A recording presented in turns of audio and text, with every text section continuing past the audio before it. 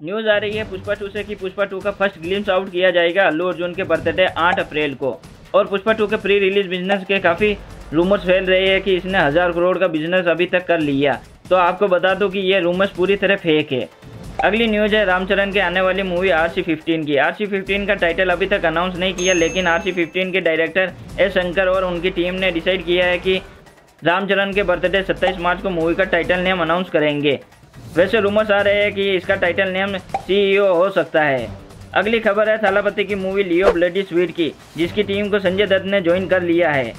इसके अलावा जूनियर एनटीआर की आने वाली movie N T R thirty से जानवी कपूर का फ़र्स्ट लुक उनके बर्थडे सिक्स मार्च को रिवील किया गया।